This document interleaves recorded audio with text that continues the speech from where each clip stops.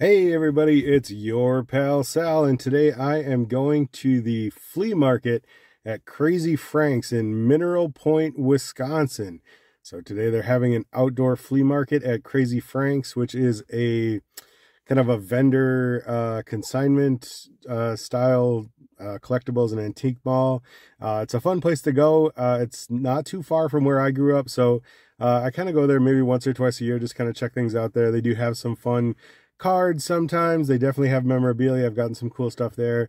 Uh, so that is definitely what I'll be on the lookout for at the flea market. See if we can find some cool, fun, and maybe even cheap cards. That's one nice perk is the vendors will be there for some of the booths.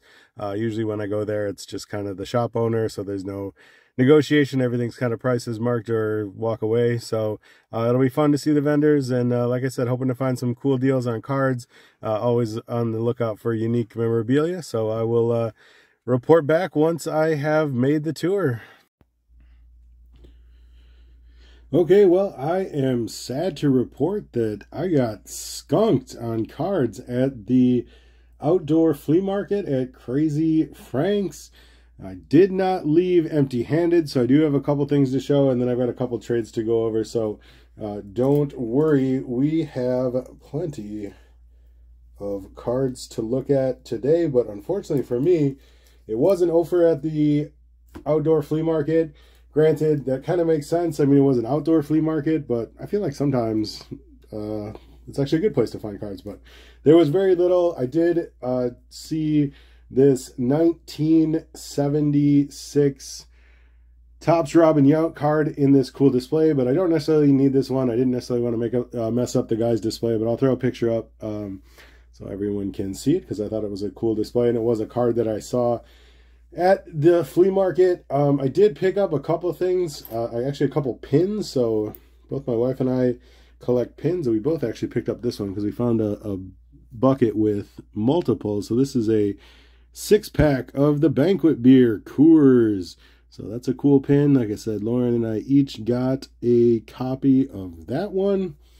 And I also grabbed this uh, nondescript fire department pin. So no specific fire department associated, but when it comes to first responders, I am definitely on team fire department.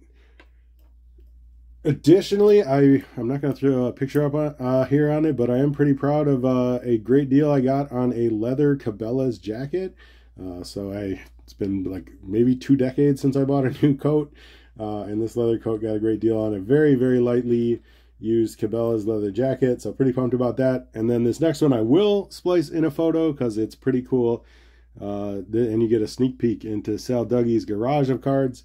Uh, it's this Miller High Life sign from City Limits Liquor, which I think is in northern Wisconsin, but uh, could have come from anywhere. Uh, but the wife and I just had a new garage built last fall, and uh, now we're kind of finishing it up and putting in the decorations. So I went ahead and grabbed this great High Life sign uh, for some garage decor.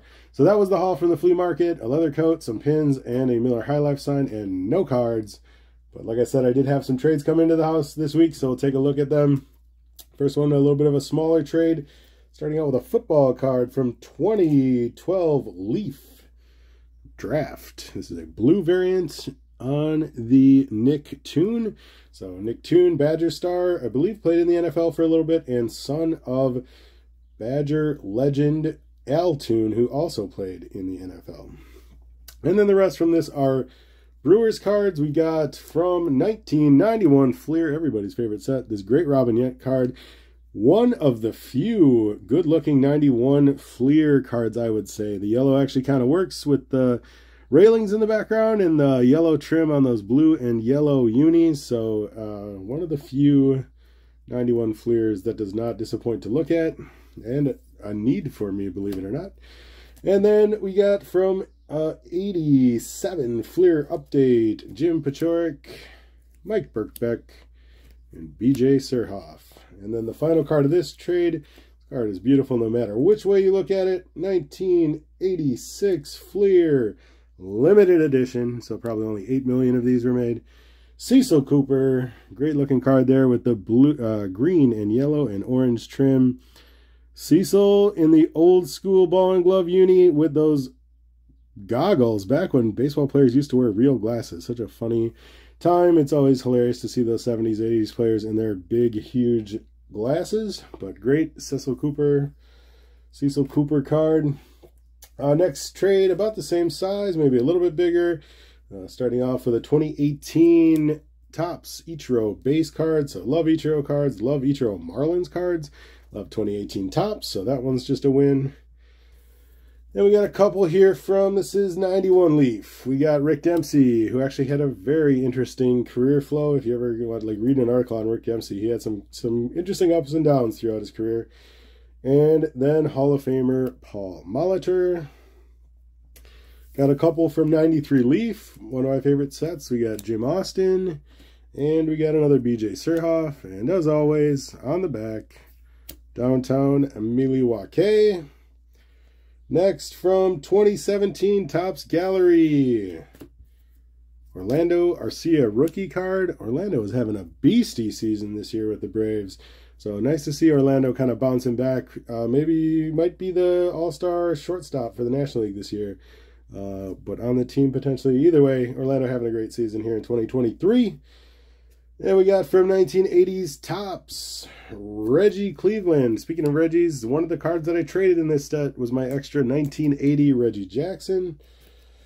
And then uh, in return, with all of those other cards, we got from 84 Topps. We got some studs on here. We got Dale Murphy, another Cecil Cooper, that rapidly receding hairline, no glasses though, and Jim Rice. Let's take a look. We got uh, 83 runs batted in leaders. So National League, Dale Murphy, 121, followed by Andre Dawson, Mike Schmidt, Pedro Guerrero, Terry Kennedy, George Hendrick, Jose Cruz, Ron Cey of the Cubs, George Foster, and future Brewer Jeffrey Leonard. Brew Crew, we got Cecil Cooper. To keep saying Cecil. Cecil Cooper and Jim Rice tied for the top of the league at 126. That was best in all of baseball. Followed by Dave Winfield, Lance Parrish, Eddie Murray, Brewer Ted Simmons, Tony Armas, Willie Upshaw, Cal Ripken, and Ron Kittle. So definitely some fun names on there. And the final trade of the video, this one was the biggest. And we're going to start off with some basketball cards. If you've been following along, we've been playing NBA on NBC. So this one is Brad Daugherty. Let's see what we got from Brad here. Game 5, Eastern Conference quarterfinals. Took Cleveland five games to put away the injury-riddled Nets. But with the leadership of Brad Daugherty, Cavs win. Cavs win 99-89 at Richfield Coliseum. Daugherty, outstanding game five, 24 points, 21 boards. That is a beastie game. Uh, in one of his best playoff performances, averaged 20.8 for the five game series. So great job, Brad. Next, we got uh, Kevin Johnson here. I think this is from the finals. This is game three, Suns Bulls NBA Finals, and one of the most memorable finals games in the league's 47 year history. Phoenix Suns guard Kevin Johnson put up a superb performance in game three. Played 62 of 63 minutes in a triple overtime game, which the Suns outlasted the Bulls 129 121. It was the Suns' first win of the series. Johnson put up 25 points and 9 assists. So, Iron Man work from Kevin Johnson there.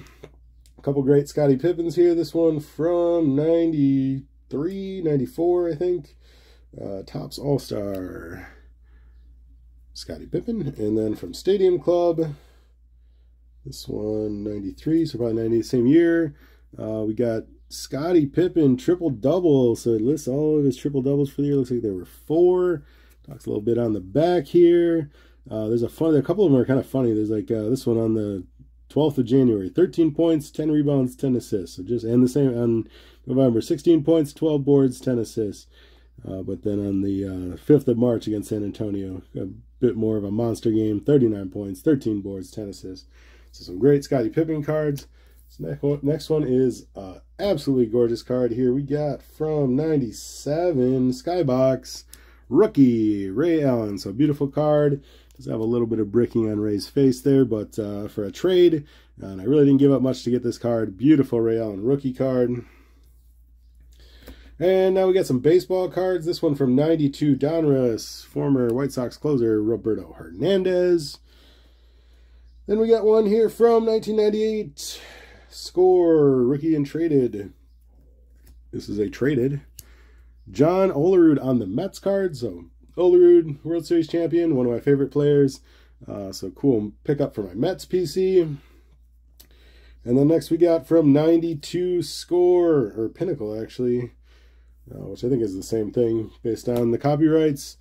Uh, we got Brett Butler with some technical skills here on our bunting. We got eyes on the ball, arms, hands relaxed, fingers are behind the barrel, and trying to bunt that top half of the ball to kind of catch it with a bat and deaden it. Uh, so I really like these cards where they kind of do the blueprints on there, so that's cool. Another super cool card. Love these. I have a similar scorecard. This one from Pinnacle. We got Tom Glavine playing hockey in a baseball jersey. Uh, so I love the Tom Glavine hockey crossovers. Uh, I think it's super cool. Like it took the time to do this photo shoot. Uh, so great mashup on the Glavine. I think on the back it talks that he was maybe drafted. Uh, yeah, drafted by the LA Kings in the fourth round of the NHL draft. And doesn't say what year, maybe. Uh, but super cool. Obviously, Glavine could play some hockey, so that's great. And then I got a bunch from 91 Leaf, so we'll rapid fire these.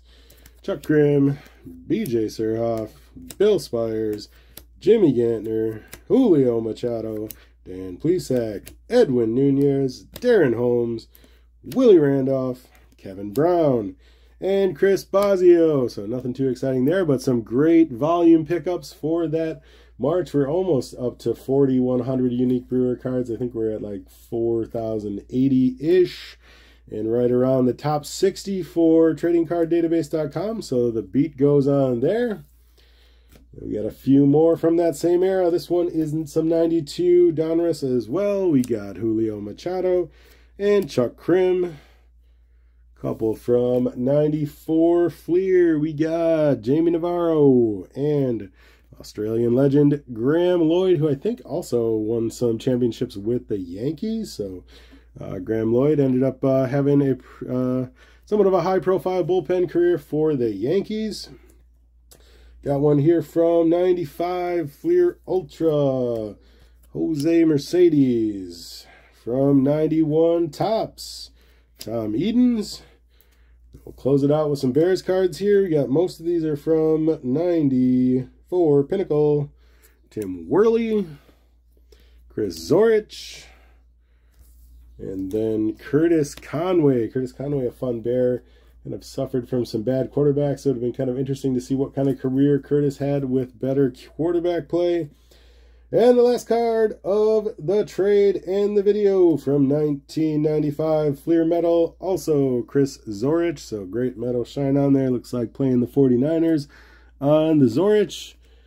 Great haul in the trades. Uh, fun day at the flea market, but not a great haul as you could see. Thanks everybody for watching the video. Go ahead and like it, hit that subscribe, and I will talk to you all in the future.